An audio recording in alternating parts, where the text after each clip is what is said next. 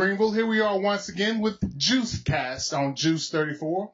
And today's guest is the owner and operator of the Texan, Barbara Horan. Will you introduce yourself to the Greenville public, please, Barbara? Sure thing. I'm Barbara.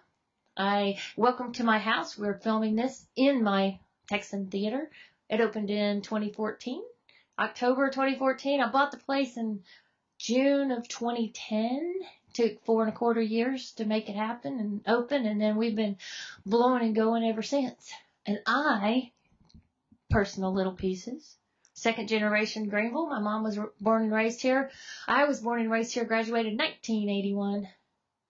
Went off, ran away for 30 years, came back, and this is what we've got. So talk, let's talk about family. How many brothers and sisters do you have? Two brothers, one sister. So are you the middle child? One of the middle. The girls are in the middle. We're sandwiched by the boys. The graduated 71, my older brother 71, sister 76. I was 81. My little brother's 84. So let's talk about the concept of the Texan, your vision in your mind, how you saw it when you first saw the Texan in its state. Well, it's kind of funny. All I wanted to do at first was to save the neon out front. So if you've seen the neon at night, that's what saved the whole place. Everything inside kind of snowballed, but it snowballed because I don't go out anymore because I can't stand sitting in somebody else's lap. So, and I'm of a time when, you know, class of 81, we didn't get diagnosed with all those things. You just figured out how to deal with it. You sit in class, you sit still, you be quiet, you make A's in conduct, you're good. Well, you know, now we get other ways to help. We can there they have all kinds of things to help people sit still now. But we also get panicky when we're in midst of big groups of people. And so I built this so we don't have to be. You've got plenty of room at a table. I'm actually sitting at a table for two with tons of space across from me. Um, there's plenty of room in the aisles to walk between the aisles. You don't climb over any people. I've been known to sit in a place where I really need to go out. My eyes are turning yellow and I'm just sitting there because I'm not going to climb over all those people and I'm sure we're just about done and I'm going to get to go. But I'm not going to climb over all those people. so I fixed it. We don't have to do that. One price, you're done. You get uh, parking, dinner, drink, show, gratuities are included. There's no stress. You buy one ticket, no stress, have a great evening out. So Barbara, how how is it that you're able to do all this and travel and go back and forth? Are you split into multiple personalities or what? Tell us about it, please. Some people probably think I have multiple personalities. I go back and forth to Austin just about every week. I have a business in Austin. I go down there, take care of business, let other people do stuff, and come back up here. I'm actually in town more than I used to be. I've decided that um, my baby needs mama we um I've been letting nannies take care of it. You don't hire a bad nanny. It's not that anybody here is a bad person taking care of the theater. I just need to be here because that's my passion. The, that whole idea of it was a place where I could go out. I'm spoiled now. I can't go anywhere else to see a show. Not just because I built it, but because the way it is and the space and the comfort. This is the only place I go out now. How did you finally come to the to the, the, the, the, design in the in the ceilings and the and the audio concept where there's no echo going on. Was that a hard problem to figure out? This being a theater and all? Well, it's it was a vaudeville house, so it was a shoebox theater before they had really good amplification. So the acoustics in here are amazing. It uh, stand on stage and you can talk just like we're talking now, and you can hear people on the back row it's amazing for that. Well, then I had lots and lots of help. We had an acoustic engineer from the very beginning consulting with us. He said he usually doesn't get to do that part. He usually is brought in at the very end and has to fix everything. So he was very excited to be here at the beginning, tell us when we need extra walls. The air conditioning system is actually above the stage, double floored. So there's a big dead space between the actual floor and the ceiling above the stage so that although it's very loud when it comes on, it's I'm guessing it would have been a lot louder than it is now. So I had a lot of help and the design and all of that. Um, I had a designer from Dallas, interior designer, who would come up with ideas. I told him, you must keep the carpet. We remade the carpet. This is looks like the original carpet. It's not the original because there was only little strips of this, and this covers the whole floor. Also, if you look up at the top, the um, vents, these big, big half round vents, are from the old theater. They're not used now, but I told him they weren't going anywhere. So once he had the floor, which gave us the colors, the red and the gold and black, he had sort of his color palette. And when I said, you're keeping those, he sort of has art deco and has to go into that. Um, and the ceiling has to do with, I was, um, at the Vatican traveling. I was going to the Sistine Chapel and you have to wind way through all these galleries in the Vatican to get there. The ceilings in the Vatican are two dimensional. They're painted, but they all look like sculptures. And so I talked about that and my designer found a designer, um, a company called EyeCon, E-Y-E-C-O-N in Dallas. They do murals on sides of buildings and they came up with this design, which is all two dimensional. It's all flat, hand painted, but they all look like there's depth. So that's how the inside, a lot of this interior design came about. Speaking of the lighting and the design, it doesn't take a lot of light to bring the, the, the colors out in here. How, is that all by design and plan? Um, probably by the actual lighting designers, but a lot of this the diamonds in the ceiling have extra LEDs around them, but we have LEDs everywhere. So the low voltage also makes it, we can have anywhere from white to pink to just about, I think there's two million combinations of colors once you get everything that those combinations of simple colors can, can make. So let, let's, on the theme of electricity, you know, I was reading out front that you have a solar panel on the roof. Yeah let's talk about that. I have um I have two buildings here. I have what used to be O'Neill's and I have the theater. O'Neill's doesn't have it, but this the theater part has a big array on the ceiling, I mean on the roof outside, not on the ceiling on the inside, outside.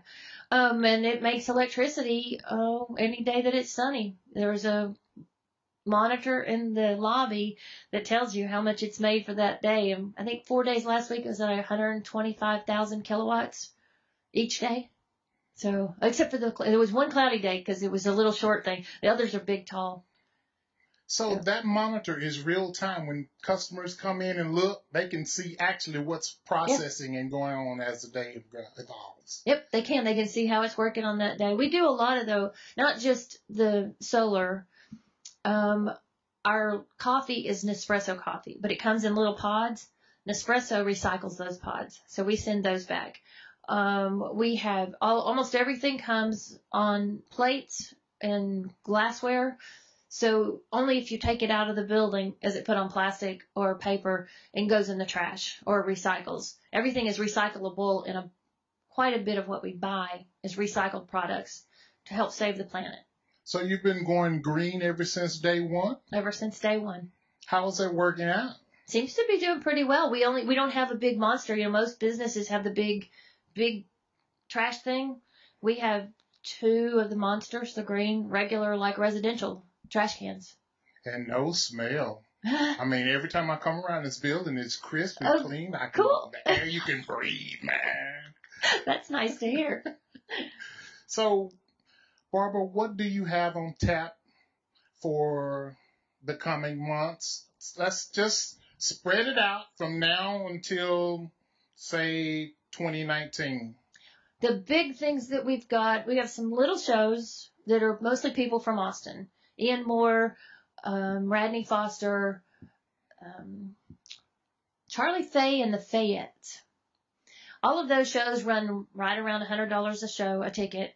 Then I have large shows. We're going to have the Bacon Brothers. Kevin Bacon and his brother Michael will be here the 1st of June. Billy Bob Thornton and the Jazz Box Masters will be here at the end of July. Um, I don't really have any big shows scheduled after that. Uh, Rachel Arnold, who did her spring or yeah her fall recital last year in December, will be doing that again. We're figuring out the dates. So those tickets are 25 or 30, and all the proceeds go to some local. I think they're going to Blue Santa this year. Last year they went to Fish. Um, and in February, we got something really exciting Peter Pan on ice. I'll have plastic ice on the stage, and we will fly Peter Pan across the stage. So I'm very excited about this. We're, we're doing to fewer shows. I've had lots and lots of shows, three and four a week.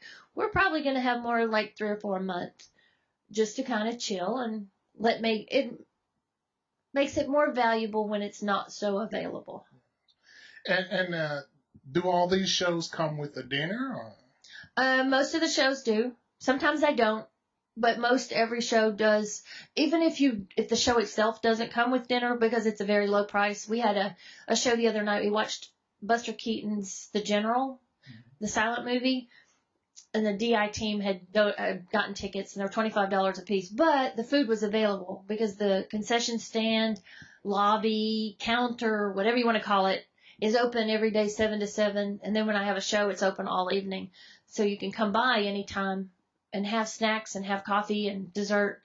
And if we're having a show that doesn't include dinner, then you can buy pop stuff on the counter and come in. So you do serve food every day during the week. Yes, every day And during the week, What are those hours running from? seven to seven. Wow. And we have breakfast, lunch, and the lunch is a, a, you can have it at dinner time, but we close at seven, so it's kind of an early dinner. But um, we have special like today's special. We had steak bite salad. I'm a breakfast man. Mm-hmm. Describe for me in very luscious detail a breakfast. A breakfast. Yes. We have um, breakfast tacos, but it's not already made breakfast tacos that come in the paper. You're gonna get um, freshly cooked egg put together with the the toppings, and then brought out hot on the plate. And then we have also have pigs in a blanket that have been made. Oh, we have French toast. My brother has stuffed French toast. Now he's already made it, mm. and we have it cooled, and then we heat it up. That one isn't made fresh immediately, but it's gooey and ooey on the inside, and you put powdered sugar on the top of it. Oh, and it's like by the time you're three quarters of the way, you're like, oh, I'm gonna die. It's so sweet, but it's so yummy. I can't stop. I gotta finish it. So, and then you have coffee. Like I said, we serve Nespresso coffee. So how far would you go for an espresso? And that's what George Clooney says. Um, so we have Nespresso coffee, and then you can make it into whatever you want. Have a shot of espresso, and then you have a blended Snickers Frappuccino like thing, blended coffee. And uh, we can do just about anything you can think of. And if you come in often, get a card every 8th or 12th, I can't remember which. Coffee is free. And um, if you have a certain coffee you like, it's a certain recipe, you want two squirts of toasted coconut and one squirt of vanilla with a pod that's a 12, which is a very strong coffee pod. Um, they'll write it down and they have it in a little file box in front. And then you can come in and anybody who's here, you can ask for your coffee and we can make your coffee with anybody who's here. We'll know who you are. So Barbara, I want to step back a little bit. Okay. What what made you, or what drives you on a daily basis to do what you do? Hmm. It's all really fun. I don't know. Other than that, it's just, I like to see people smile for the food. The big deal about the coffee shop, the lobby being open, my parents both worked downtown when I was little and they go to Kress's and have coffee at the counter or the, all the men downtown, my dad, Mr. O'Neill, Harris Morgan would all go have coffee and sit in the booth and there's nowhere downtown to have coffee. So I'm like, well, I have a building. I bought the building so that I could have the O'Neill's jewelry store, so I could have their sewer line and make more restrooms for my theater. Well, once you got the big building for more restrooms, what do you do with it? And I was like, people need to have a place to go. And we actually don't have music. It's almost like a library. You, we have Wi-Fi, free Wi-Fi that's very strong. So you can come in, get your work done, kind of chill, relax, um, have a cup of coffee or two and enjoy. I don't know, I don't know what drives me. I just I love seeing people smile, and it's um I They do that all over the place. answer. That is a great answer because if you're not loving what you're doing, then what are you doing? well yeah that's So just kind of wrapping it up, what would you say to Greenville public for to come out and do a show? What would be their next? I mean, just absolutely family style show that they can hang their hat on. Family style show. Yes. I'm not sure. We got Gino Vannelli coming in two weeks, which is going to be music. Um, certainly the Rachel Arnold's Dance Prodigy shows, they're going to be little kids doing ballet. And so that'll be a lot of family fun. Oh, and I have Doug MacLeod. We're going to have to figure it out. He's going to do a, a guitar workshop. And so I don't know all the details on how we're doing the workshop, but it's part of my educational. I do have something that they're going to love.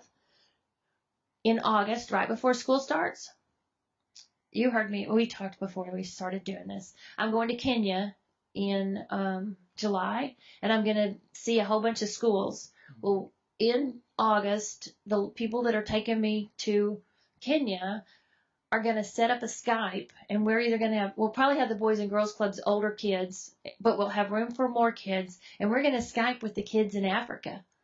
So they're going to actually be able to talk on the big screen because we'll have the movie screen down, and the kids will be able to talk to the kids in Africa.